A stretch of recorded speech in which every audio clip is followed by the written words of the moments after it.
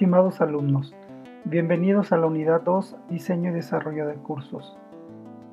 El objetivo general es discernir los elementos que caracterizan a las etapas de análisis de problemáticas instruccionales, diseño y desarrollo de cursos, así como también conocer algunos de los modelos instruccionales como el socrático, el tradicional, el de Glaser, de Gerald Kemp, el de Rick y Carey.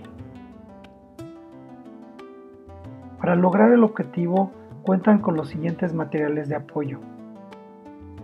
El tema de la unidad, su resumen, una presentación y lecturas complementarias. La estrategia didáctica está integrada por las siguientes actividades. La autoevaluación, que les permitirá conocer su nivel de aprendizaje de esta unidad y determinar si requieren profundizar más en el estudio de los materiales o bien seguir con las actividades asignadas. Cuentan con tres intentos para realizarla con un límite de tiempo de 20 minutos y la calificación que se registrará es la más alta. El foro, que les ofrece un espacio asíncrono para el intercambio de ideas y la construcción de saberes colectivamente. En esta unidad compartirán sus puntos de vista y saberes en torno al siguiente caso. Suponiendo que vas a diseñar un curso para tu entorno laboral, ¿cuál de los siguientes modelos de diseño instruccional usarías? ¿El modelo de Glaser, el diseño de Gerald Kemp o el modelo de Dicky Carey?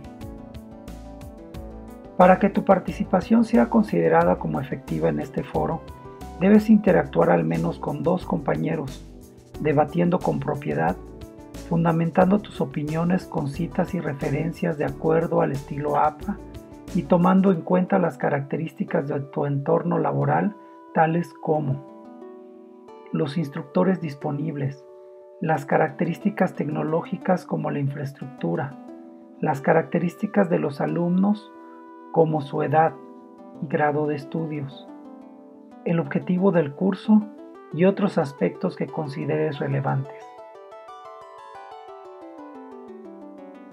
La actividad integradora la realizarán con los equipos conformados en la unidad 1.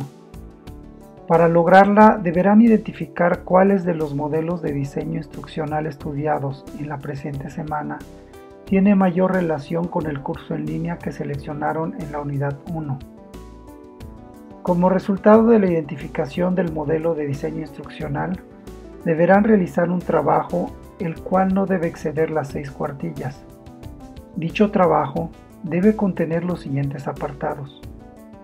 Carátula, índice, introducción, que consiste en describir el propósito del trabajo y su alcance. Desarrollo, que contendrá la identificación del modelo de diseño instruccional y su justificación las conclusiones relacionadas con la valoración de la utilidad de las experiencias y aprendizajes logrados. Y finalmente, las referencias de acuerdo al estilo de la APA. Deben tomar en cuenta que todos los integrantes del equipo enviarán el trabajo.